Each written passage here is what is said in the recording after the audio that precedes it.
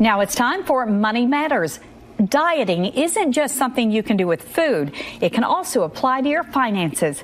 Rob De Lessio of Strategic Wealth Designers joins us to talk about financial dieting. Rob, you say that uh, most viewers are paying extra fees they don't even realize. So is this part of it? Is this a good way to trim all of that out of your budget? Well, there's oftentimes a bunch of hidden fees in your portfolios, and it's it's best to go ahead and get a second opinion from somewhere just so you know what's going on in your portfolio. Oftentimes, people don't realize what they are actually paying, and it can act like an anchor on your accounts.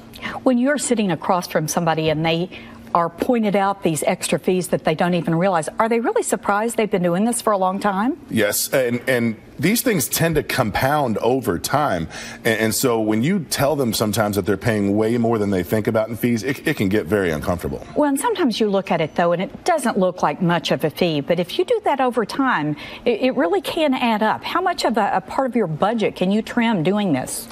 You know, we've seen fees in excess of three and a half, four percent sometimes, even higher.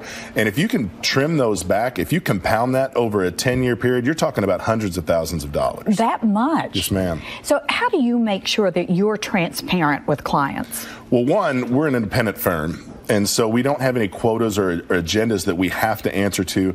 Secondly, as a fiduciary firm, we are legally obligated to make sure what we do is best for the clients, even more so than our firm. Lastly, we basically just show them everything. We are mm-hmm. completely mm-hmm. transparent in everything that we do, so our clients know exactly to the penny what they're paying at every time. So when a client comes to meet with you, how should they prepare for that visit? What do they need to bring you, and what do they need to think about ahead of that? Well, we provide them with a list, of course, like most people would, of just kind of a checklist of what to bring in.